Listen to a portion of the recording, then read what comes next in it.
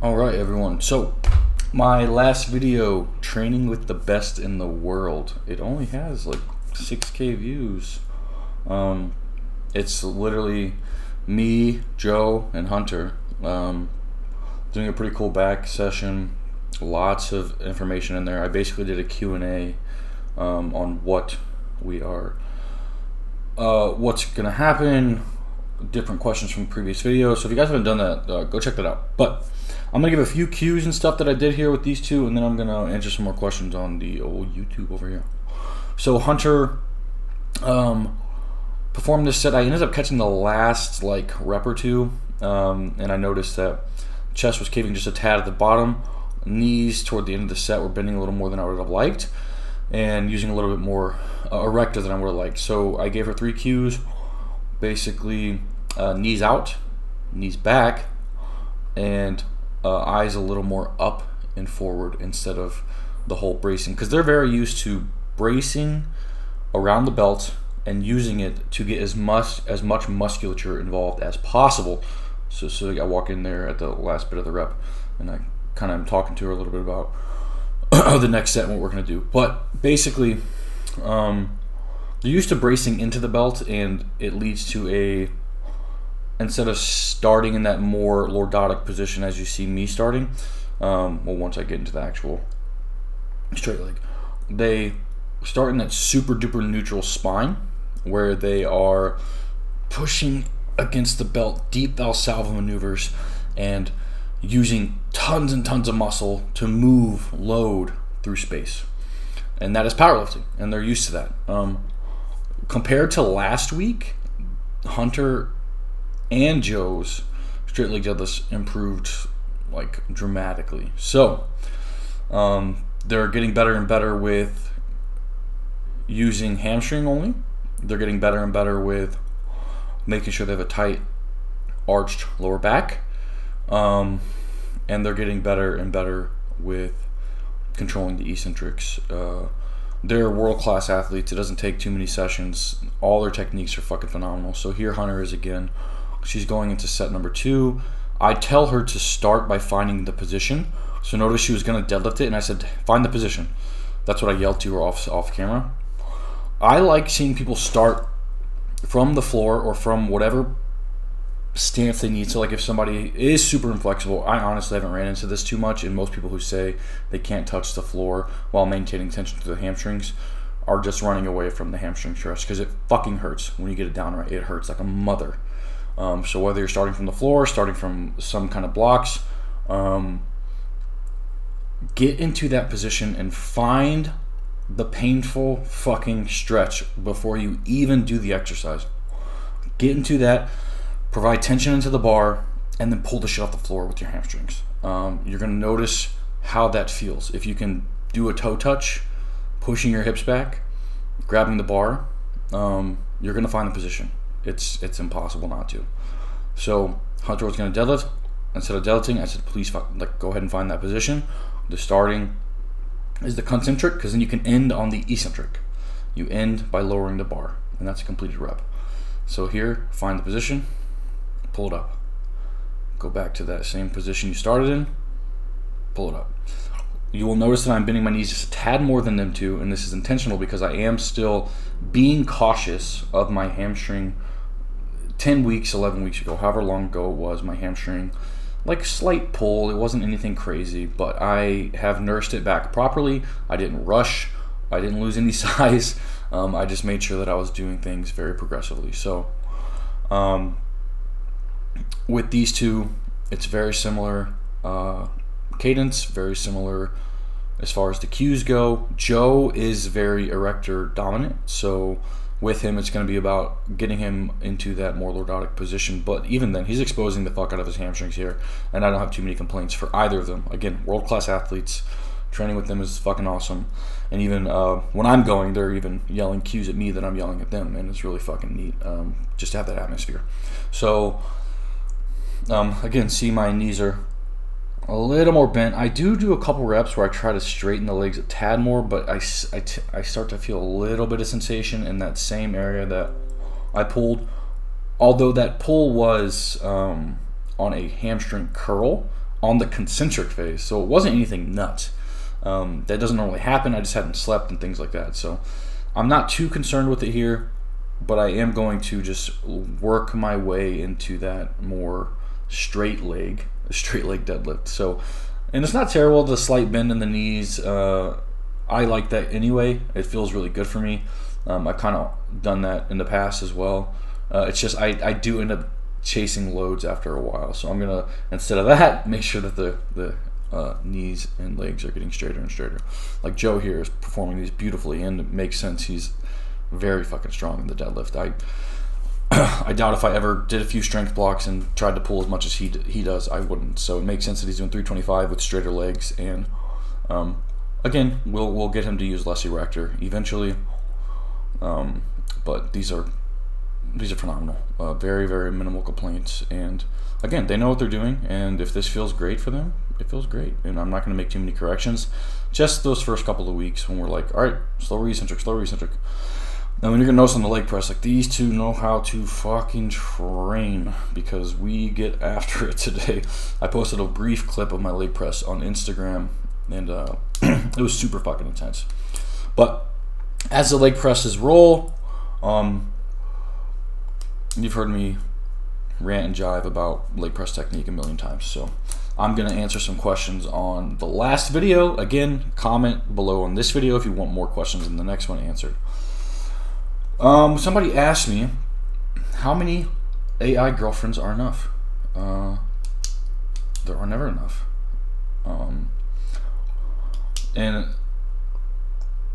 again, in the next one, he asks, "Will CRISPR replace weightlifting?" So, first and foremost, when AI becomes a thing and full immersion, and CRISPR is at its peak, and we're able to genetic code, etc., I will completely turn down. So, like if you think of everything, you have emotions, um, as far as let's say anger and love and lust and all these things. I will turn any sexual desire completely off and just be a productive work machine. So, AI girlfriends probably just uh, you got a couple of years of that, and then CRISPR's going to catch up and we'll see what happens. Hopefully, the average IQ goes up quite a bit.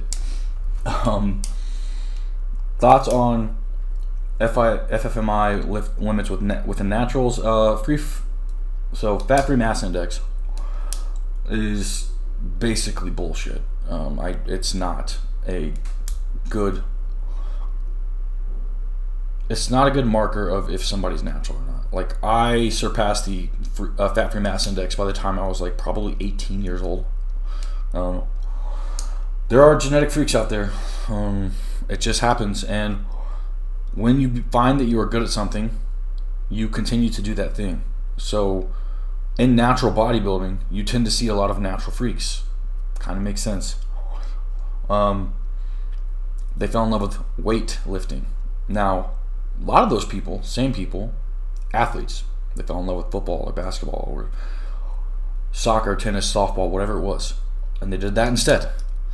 And that's why you don't see them on a natural bodybuilding stage. But a lot of the guys that were natural that did really well and had a really high affinity for growing muscle were like, hey, I'm pretty good at this.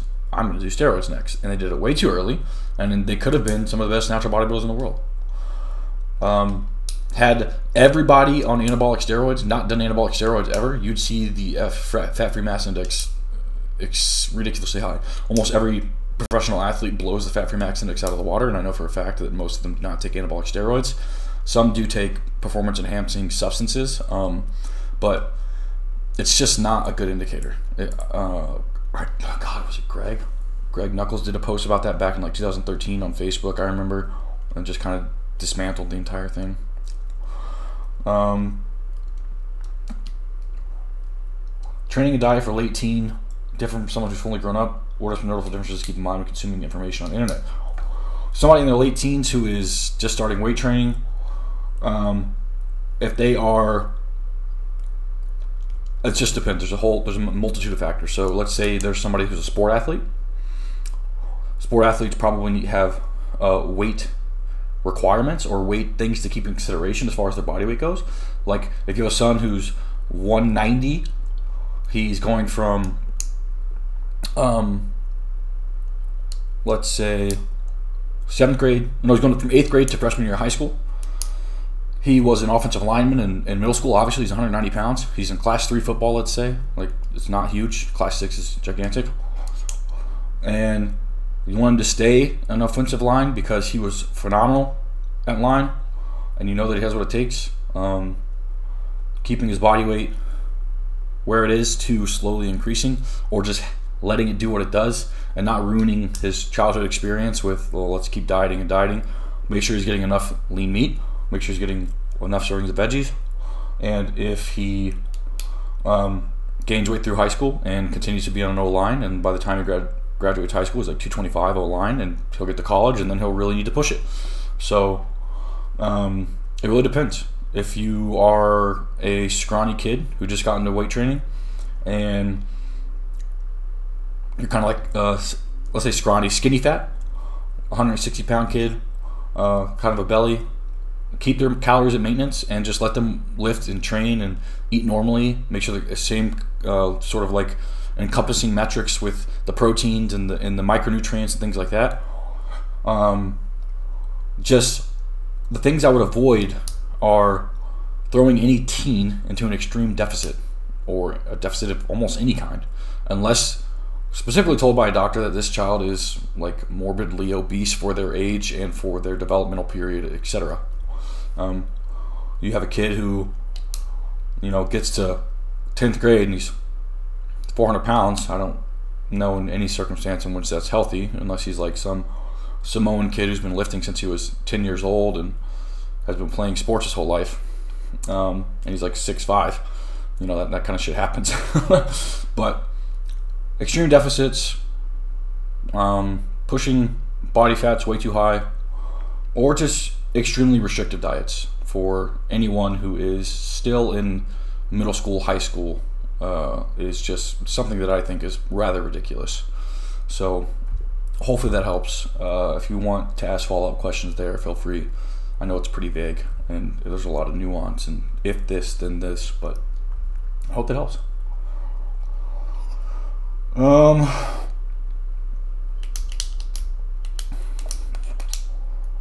allergic to fructose.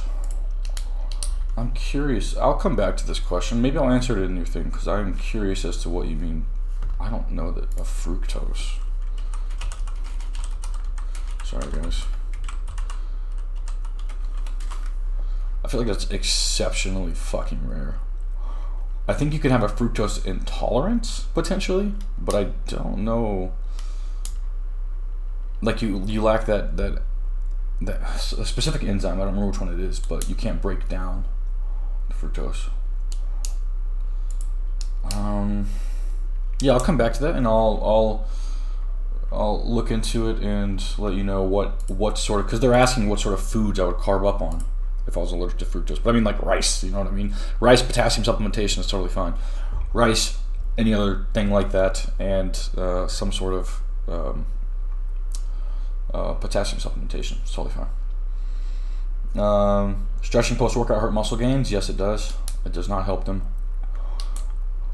Um, sorry, some of these are very long to read.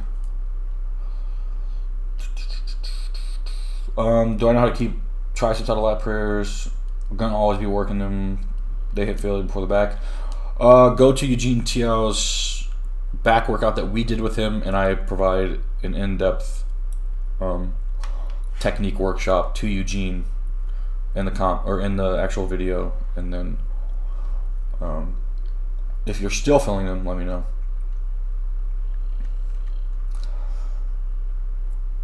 Hammer curls. Um, if you like them, you like them. You know. You can do hammer curls. I actually am doing them this meso. Um, they're great for forearms. They're a fine bicep exercise. There's just not a lot of supination. As long as you are lowering them very slow, and kind of like how I do my um, EZ bar curls, slow and out in front of you, you're going to stretch the bicep really well and you'll also hit the forearms pretty decently. So they're not a terrible exercise. I just am a big fan of the supination component in most bicep exercises. Diet root beer is something my European mind can't comprehend. Well, we have it, bud. We have a lot of diet sodas. I did notice when I was in like London, um, when I went to Australia recently, places like that, they have like one diet soda. It's like Diet Pepsi, Diet Coke, Diet Pepsi. I can't remember, but not the good shit we have here in the United States. I'll tell you that. Um, what is my pre-workout intro? I I feel like that was quite literally in the video. Um, pre-workout is any pre that has some sort of caffeine. Um, I don't like I don't like beta alanine. I don't like the tingles at all. Um, you can have citrulline in there. You can have arginine in there. Either are fine. I like arginine. Um, I've always gotten better pumps with arginine over citrulline by far. So I don't know where all the citrulline hype came from. One guy said it and everybody else follows suit. Um, so I'll do creatine, five to ten grams, depending on body weight. Um, pre-workout with like 250 to 300 caffeine, and then I'll do arginine, like 2,000 milligrams or so. That is my pre. My intra is literally, well, and in the pre, I'll also put in some salt, about 560 to a gram. Intra, gram of salt, 50, 60 grams carbs for now, right now, currently with this diet, and then 20, 25 grams protein. That is precisely what is in mine.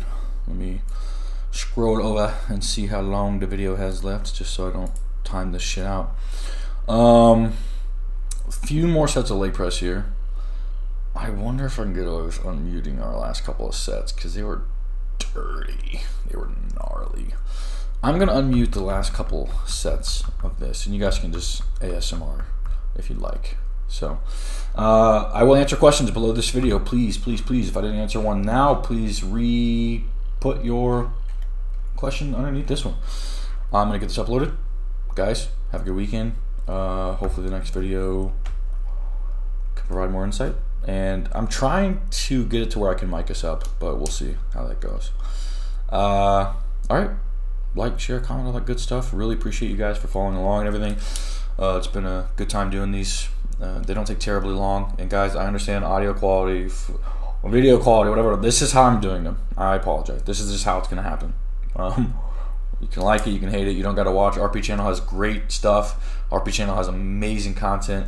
I'm over there doing all kinds of uh, training videos, giving cues and all that good shit. So if you like the high production shit, hell yeah, go over there. If you like, uh, if you like this kind of shit, you can watch. You don't have to. Um, I get it. It's it's not for everybody, but uh, for those of you that are enjoying it, I'll keep putting them out, and eventually there'll be higher production. But here we go.